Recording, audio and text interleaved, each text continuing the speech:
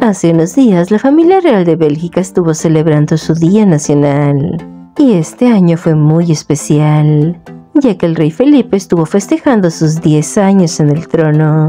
Y para conmemorar un día tan especial, los cuatro hijos del monarca estuvieron muy presentes, en especial la princesa heredera Elizabeth con 21 años y su hermano, el príncipe Gabriel con 19 años. Ambos portaron su uniforme militar y estuvieron desfilando para el Día Nacional. Y como un día especial necesita un retrato también muy especial, el rey posó para una fotografía junto a sus dos hijos. En la imagen se puede ver la hermosa heredera con la cabellera llevando un moño bajo, ya que así es como lo manda la normativa además de lucir su uniforme de equitación femenina compuesta por una falda y botas negras. Por su parte, el príncipe Gabriel luce el mismo uniforme, pero para caballero.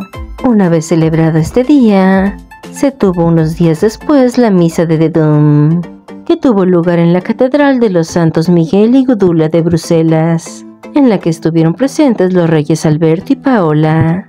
Este vendría siendo el primer acto público del antiguo rey, tras su reciente ingreso hospitalario debido a una infección en la sangre.